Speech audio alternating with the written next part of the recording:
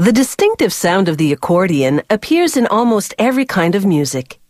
The piano-style keyboard on the right-hand side produces the melody, while the buttons on the left produce the chord accompaniment. In between are bellows that force air through reeds, producing that unmistakable accordion sound.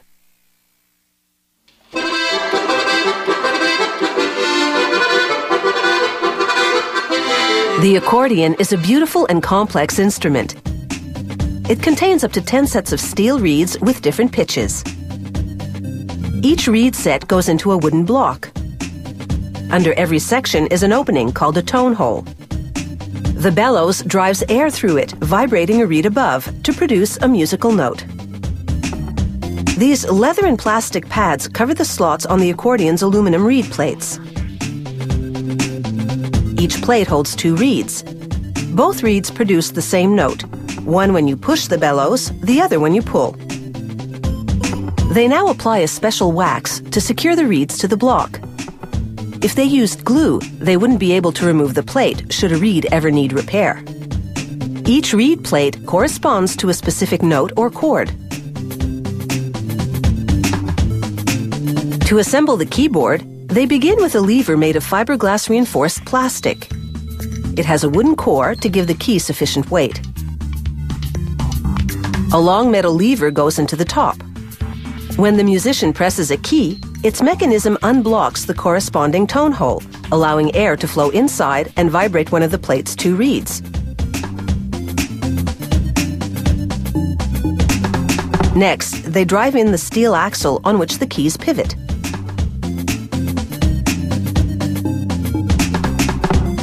Then they apply suction to a keyboard-sized tray.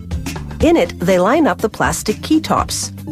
In top of the line models, the white key tops are made of celluloid. With the suction holding the keys down, it's just a matter of flipping the tray and clamping it onto the keyboard frame. The tops adhere to the levers, which have since received a coat of glue. After about an hour, the glue is dry. They cut the suction and the keyboard is finger ready. Meanwhile, the reed blocks are in the hands of a tuning specialist who pumps air with a foot pedal to vibrate the reeds one at a time. He compares each note to a reference tone from a tuning apparatus and files the reed gradually until their pitches match. Now for the button keyboard. Starting with the valves, they install a wooden pallet over each tone hole to that, they glue a steel lever. Then to that, they connect a brass rake. When the rake moves, it pulls the lever, which opens the valve, unblocking the tone hole. Air enters and vibrates the reed, producing the note.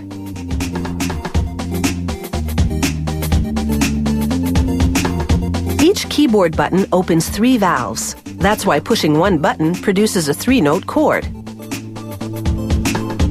With the complex connections between buttons and reeds complete, the reed blocks go into a celluloid on plywood housing. It'll attach to the bellows, made of strong pleated cardboard, reinforced with leather and metal corner protectors.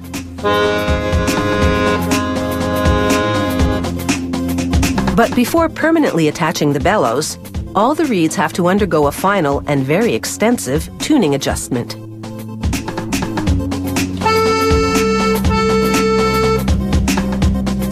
An accordion can have up to 600 reeds, so this meticulous reed by reed tuning can take up to 16 hours.